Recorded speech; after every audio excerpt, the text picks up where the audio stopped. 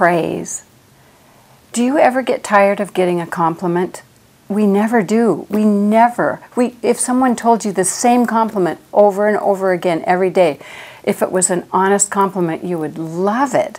In fact, on my Facebook, when I praise you guys, because I'll say my prayers and I'll I'll think how wonderful you all are and what I'm so grateful for you. And when I express that, the amount of traffic on my Facebook page goes sky high because we we all love to be thanked and praised. So we need to do that with our kids. When you praise your child, it lifts their self-esteem. Have you ever noticed if you're at a park or with your own kids, they're always wanting, "Look, mom, look, look, watch me."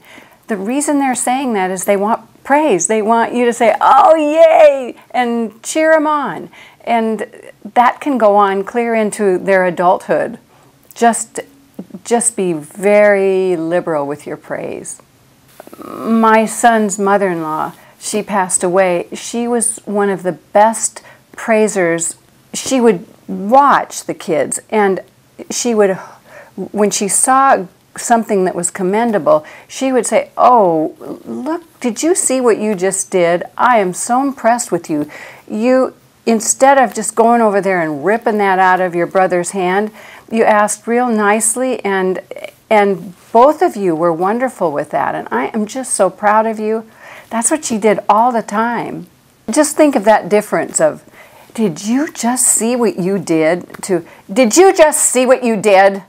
you have so much to overcome when you've been told that you are bad or wrong or you can't do anything. So the opposite of that is to parent with compliments and encouragement and and love and you'll have kids with high self-esteem who feel good about themselves and when you feel good about yourself, you're more service to this world.